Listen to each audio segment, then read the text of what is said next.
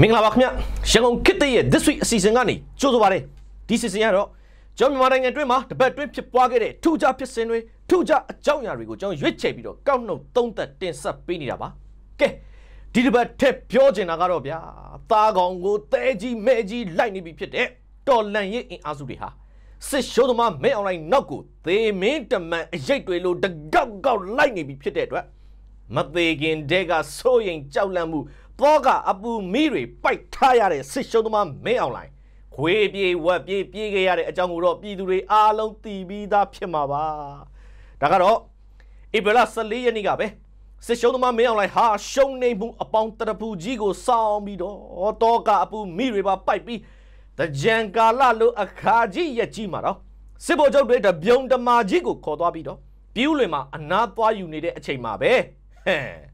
တော်လန်ရေးတက်တွေကသူတို့ရှိမဲ့နေရာတွေကိုရှော့တိုက်ဒုံးတွေနဲ့အလုံး30ကျော်ပစ်ခတ်တိုက်ခိုက်လိုက်တဲ့ဖြစ်စဉ်ပေါ့ဗျာအဲ့ဒီလိုတိုက်ခိုက်တဲ့အချိန်ဟာညပိုင်း10နာရီဝင်းကျင်လောက်မှဖြစ်ပြီးပြည်လွင်မှာရှိတဲ့ပြည်သူတွေအကုန်လုံးလဲအုံအုံကြွကြွတွေဖြစ်ကုန်ကြတဲ့အပြင်ရှော့တိုက်ဒုံးတွေဟာမိုးရွာသလိုတောက်လျှောက်ပစ်တဲ့အတန်တွေကိုကြားရတဲ့အကြောင်းတွေတမျိုးလုံးရုပ်ရုပ်တဲတဲတွေဖြစ်ကုန်ကြတဲ့အကြောင်းတွေ ပြည်လင်စစ်တပ်ကတို့ဒဲမှာလဲရှော့တိုက်တုံးကြောက်ရောက်ပောက်ကွဲမှုတွေကြောင့်စစ်သားတွေဟာပြေးကြလွှားကြလက်နက်တွေထဆွဲကြနေကဘာပြက်နေသလိုဖြစ်နေတဲ့ဆိုတဲ့အကြောင်းတွေပြည်ဦးလွင်နန်းမြိုင်ဟိုတယ်ထဲမှာလဲဂီတာပွဲလုပ်နေတဲ့သူတွေပါရှော့တိုက်တုံးပြစ်ခတ်မှုတွေကြောင့်ရုပ်ရုပ်တဲတဲနဲ့လူစုတွေ꿰ပြီးပြေးကြလွှားကြရင်းနဲ့ရှိုးပွဲပါရက်ဆိုင်သွားရတဲ့အကြောင်းတွေကိုပြည်သူတွေကပြောထားကြတာပေါ့ဗျာအဲအဲ့ဒီအချိန် မလုံရဲတာဘာမှမရှိဘူးဆိုပြီးလေလုံးထွားတာတဲ့အရှက်မရှိမင်းအောင်လိုင်းကတော့ဟမ်ပြေးတဲ့နေရာမှာလဲနှစ်ယောက်မရှိဆိုသလိုအဲ့ဒီလို short တိုက်တုံးတွေပြစ်ခတ်မှုအတွင်းမှာပဲပြည်ဦးလွင်ကနေခွေးပြေးဝက်ပြေးထွက်ပြေးသွားတယ်လို့ကျွန်တော်တို့ရဲ့စစ်ဘက်တည်င်းရင်းမြစ်ကလန့်ပြောထားတာပေါ့ဗျာကဲအဲ့ဒီဖြစ်စဉ်မှာပြည်ဦးလွင်စစ်တပ်တို့ဝင်းတဲ့ကအရာရှိကြီးပိုင်းတွေပါဝင်စစ်ကောင်စီတပ်သားစုစုပေါင်း19ဦးကဒဏ်ရာတွေရသွားကြတဲ့အပြင် တချို့ကမသေးမရှင်ဖြစ်ပြီးအရေးပေါ် ICU ထဲရောက်သွားတဲ့အကြောင်းတွေကိုပါကျွန်တော်တို့ရဲ့စစ်ဘက်သတင်းရင်းမြစ်ကပြောထားတာပေါ့ဗျာအဲအဲ့ဒီလိုပြည်လင်ကနေမာရသွန်အာမီခေါင်းဆောင်မင်းအောင်လိုင်းကိုတိုင်ခွေပြေဝက်ပြေပြေးခဲ့ရတဲ့ကိစ္စကအွန်လိုင်းပေါ်မှာဟိုးလေးတကြော်ကြော်ဖြစ်လာတဲ့အခါကျတော့စေကောင်စီဘက်ကခက်တီတီနဲ့ဖြစ်စဉ်ပြီးလို့နှစ်ရက်အကြာမှထပြီး မင်းအောင်လိုက်ဟာရှော့တိုက်တုံးပြစ်တဲ့အချိန်ပြည်ဦးလင်မှာမရှိဘဲခြေတော့နာနေလို့နေပြီးတော့ပြန်ရောက်နေပြီဆိုပြီးထုတ်ပြန်ပါလီရောဗျာ။အော်အတော်တော့ခန့်နေပြီ။ကလင်ကကြက်အာမီကြီးရဲ့ထုံးစံအတိုင်းပေါ့ဗျာ။ဒီလိုလိန်မို့ကိုတော့နှစ်ရက်လောက်စဉ်းစားပြီးမှထပြီးထုတ်ပြန်တာပေါ့လေ။ဘလို့ပဲဖြစ်ဖြစ်ပြည်သူတွေကလည်းသူတို့အဲ့ဒီလိုထုတ်ပြန်ပြီဆိုတာနဲ့ဗျောင်းမြန်တာကောက်ပြီး မင်းအောင်လိုက်ခွေးပြေးဝက်ပြေးပြေးခဲ့ရတာသေကြပြီဆိုပြီးတော့တောင်ပြောနေကြတာပေါ့ဗျာသူတို့ရဲ့လုံခြုံလာပါပြီဆိုတဲ့နေပြီးတော့မှတွင်းအောင်နေတော့လဲ drone နဲ့တိုက်ခိုက်ခံရပြည်ဦးလွင်ရောက်ပြန်တော့လဲ short တိုက်ဒုံးနဲ့တိုက်ခိုက်ခံရတော့မင်းအောင်လိုက်ဟာသူ့ရဲ့ရုံတက်ရုံစင်ပြည်တွင်းခီးစင်နဲ့လှုပ်ရှားသွားလာမှုတွေကိုသူ့ရဲ့ကိုရန်တော်တက်ကလွဲပြီးပြည်ထရေးကာကွယ်ရေးဝန်ကြီးဌာနနဲ့စီယုံချုပ်ကိုတောင်ကြိုတင်အသိမပေးတော့ဘူးလို့လဲ ကျွန်တော်တို့ရဲ့နေပြီးတော့စစ်ဘက်တည်ရင်းမြစ်ကလှမ်းပြောထားပါသေးတယ်ဗျာကဲဘလို့ပဲဖြစ်ဖြစ်လက်ရှိတော်လန်ရေးရဲ့အရှိန်ဟုန်ဟာသားကောင်ကိုဒဲကြီးမဲကြီးမဲလိုက်နေတဲ့အခြေအနေကိုရောက်နေပြီဟမ်စေရှုံသမားမင်းအောင်လိုင်းနဲ့အကြမ်းဖက်စစ်အုပ်စုကိုနိုင်ငံအနှံ့ပြမှာတော်လန်ရေးတပ်တွေဟာအကြီးကျယ်အမဲလိုက်နေကြပြီစေကောင်စီတပ်သားတွေဟာ ဖြူဟာမှုတွေတက်မှမှုတွေပါမကြံသေတဲ့သူကသေပြေတဲ့သူကပြေလက်နဲ့ချတဲ့သူကချအဖမ်းခံရတဲ့သူကအဖမ်းခံရနဲ့တော်လန်ရေးတက်တွေရဲ့သားကောင်ဘဝကိုရောက်နေပြီပေါ့ဗျာဒါတွေဟာဘလို့မှလိန်လို့မရတဲ့လက်ရှိစစ်ကောင်စီရဲ့ကြာရှုံးမှုပြရောက်တွေဖြစ်ပြီးဟွန်းစစ်တပ်ကိုထောက်ခံပါတယ်ဆိုတဲ့စစ်တပ် lobby တွေကိုယ်တိုင်ဓာတ်ပုံတွေဗီဒီယိုတွေနဲ့တကွအတိုင်းသာမြင်နေရတာကြောင့်ဟမ် သူတို့ကိုယ်တိုင်လည်းအငိုမျက်လုံးအပြုံးမျက်နာတွေနဲ့အတွင်းကြီးဘဝကိုရောက်နေကြပြီပေါ့ဗျာနောက်ဆုံးသူတို့ကိုယ်တိုင်လုံခြုံလာပါပြီဆိုတဲ့နေပြည်တော်လိုနေရာမျိုးကတွင်းအောင်နေတဲ့စေရှုံးသမားမင်းအောင်လိုက်နဲ့စစ်ဘိုလ်ချုပ်တတိုက်ကိုတော့ဟမ်ဒေါ်လန်ရေးတက်တွေကအမဲလိုက်အကတချင်းတို့တဲကြီးမဲကြီးနဲ့ကိုလိုက်နေကြပြီဖြစ်တဲ့အတွက်တကွေ့ကွေ့မှာတော့ဒေါ်လန်ရေးတက်တွေရဲ့ကြော့ခွင်းနဲ့ကိုရောက်လာတော့မယ်ဟမ် နေပြီးတော့မရေမရနေရကွက်ကြအုပ်ချုပ်ခွင့်အစင်းလောင်သာရှိတော့တယ်စေရှုံသမားမင်းအောင်လိုင်းနဲ့စစ်အုပ်စုတတိုက်ကတော့ရှေတန်းတွေတင်မကတော့ပဲနောက်တန်းမှာပါတောင်ပြေးမြောက်ပြေးနဲ့ဝရံပြေးဘဝကိုရောက်နေပြီဖြစ်တဲ့အတွက်တော်လန်ရိပ်ရဲ့အဆုံးသက်တိုက်ပွဲဟာစစ်ခွေးညီကုန်းလက်တလုံးသာလွတ်တော့တဲ့အခြေအနေကိုလည်းကျွန်တော်တို့မြင်တွေ့နေရတာပေါ့ဗျာ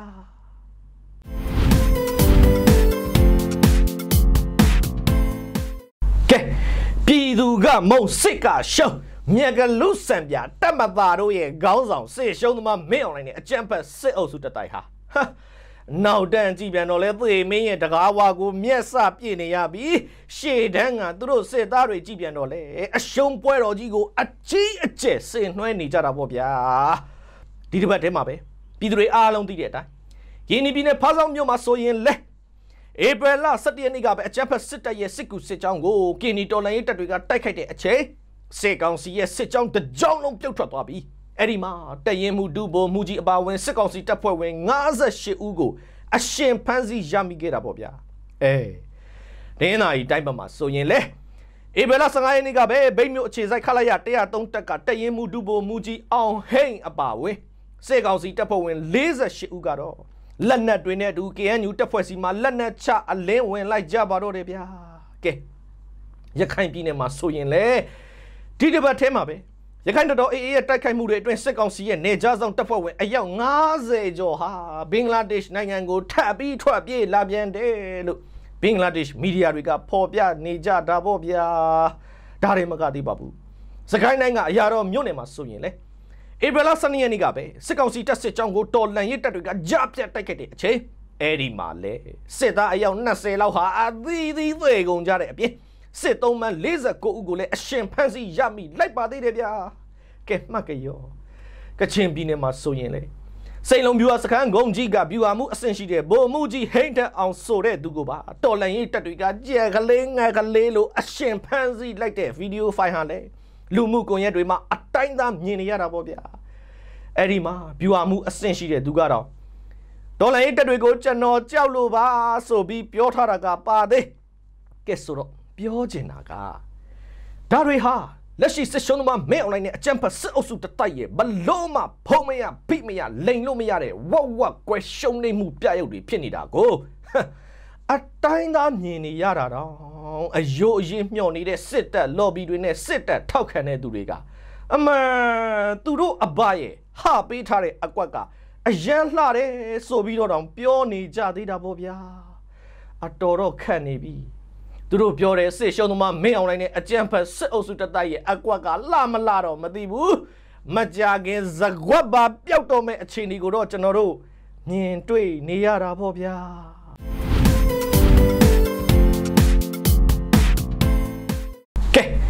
ထိုင်းမြန်မာနေဇက်ကမြဝတီမြို့ကြီးကိုလက်လွတ်လိုက်ရတဲ့စစ်ရှုံးသမားမင်းအောင်လိုက်နဲ့အကြံဖက်စစ်အုပ်စုတတိုက်ကတော့ဟမ်ကြိမ်မနိုင်ခဲမရတွေဖြစ်ပြီးလူမှုကွန်ရက်တွေမှာမျိုးစုံဝါဒတွေဖြန့်ပြီးတော့ယူကျုံမလားအပူလုံးတွေကြွကျင်တိုင်းကိုကြွနေကြတော့တာပေါ့ဗျာအဲ့လိုအကြံဖတ်စစ်အုပ်စုတတိုက်လုံးအပူတွေတွေဖြစ်နေကြတဲ့အချိန်မှာပဲသူတို့ရဲ့စစ်တပ်ဝါဒဖြန့်ချီခေါင်းဆောင်ဇော်မင်းထွန်းကိုတိုင်ကပါ မြောက်ရီမြို့ကိုတော်လန်ရေးတပ်တွေကလက်နက်အားကိုနဲ့အကြမ်းဖက်သိမ့်ပိုက်သွားတာဖြစ်တယ်ဆိုပြီးမီဒီယာတစ်ခုကိုသူ့အတန်ကြီးနဲ့တကွဖြေသွားတာပေါ့ဗျာခတ်တော့နေပြီသူတို့ကိုသူတို့နိုင်ငံတော်အဆင့်ဆိုပြီးအောင်စေရစစ်စင်ရေးတို့ဘာစစ်စင်ရေးတို့ညာစစ်စင်ရေးတို့ဆိုတဲ့ပေါက်ပန်း40ခေါင်းစဉ်တွေနဲ့ပါညဝရီမြို့ကိုထိုးစစ်ဆင်နေတယ်လို့ကြုံဝါနေတဲ့စစ်အုပ်စုကပါတဲ့ တော်လိုင်းတပ်တွေကလက်နက်အားကိုနဲ့မြဝတီမြို့ကိုအကျန်းဖတ်သိမ့်ပိုက်သွားတယ်ဆိုပဲနာကျင်မှုတွေနာကျင်မှုတွေဆိုပြီးပြောရမလို့တော့ဖြစ်နေပြီပေါ့ဗျာအခုလဲအမမြောက်ရီမြို့ကိုပြန်ပြီးတော့ထိုးစစ်ဆင်မယ်กว่าဆိုပြီးလွတ်လိုက်တယ်သူတို့စစ်တပ်ကစစ်ကြောင်းတွေဟာလေလမ်းမှာတင် KNL KNDO PDF မဟာမိတ်ပူးပေါင်းတပ်တွေကကြာပြတ်တိုက်ခိုက်မှုတွေအတွင်းမှာပဲစေကောင်စီတပ်သားအယောက်100ထက်မနည်းဟာအသီးသီးသေးကုန်ကြပြီလို့ KNU ကနေတရားဝင်ကိုထုတ်ပြန်ထားတဲ့အပြင်အဲ့ဒီစစ်ကောင်စီတပ်စစ်ကြောင်းကတန်ကြက်ကကားတွေအပါဝင်စစ်ကားတချို့ဟာလည်းပြက်စီးသွားပြီးတော့အဲ့ဒီစစ်ကြောင်းတွေဟာဒေါနာတောင်ကြီးမှာရက်တက်နေတယ်ဆိုပြီးတော့လေ KNU ကနေတရဝင်းကိုပြောထားတာပေါ့ဗျာကဲဆိုတော့ပြောချင်တာကစစ်ရှုံးသမားမင်းအောင်လိုက်တဲ့အကြံဖတ်စစ်အုပ်စုတတိုက်ဟာဘလို့မှအဖက်ဆဲလို့မရအောင်အကြီးကျယ်ရှုံးနေမှုတွေကြားမှာပဲ နေဆက်ကုံသွယ်ရေးအတွက်အဓိကအရေးပါတဲ့ညဝရီမြို့ကြီးကိုပါလက်လွတ်လိုက်ရတဲ့အတွက်ဟမ်နောက်ဆုံးအဆန်မရှိပဲဟန်သာရှိတော့တဲ့စစ်ရှုံးတက်ဟာနိုင်ငံတော်အဆင့်တို့ဘာအဆင့်တို့ညာအဆင့်တို့ဆိုပြီးဟိတ်ဟန်တွေနဲ့မိကုံရမ်းကုံသုံးနေပြီမဲ့อืมတကယ်တကယ်မှာတော့စစ်ရှုံးသမားမဲအောင်လိုက်နဲ့အကြမ်းဖက်စစ်အုပ်စုတတိုက်ဟာမိစာလဲကုံစီလဲခန်းနေပြီမကြခင်နီကုန်းချုပ်တော့မယ်အချိန်တွေကိုလည်းကျွန်တော်တို့ မြင်တွေ့နေရတာပေါ့ဗျာ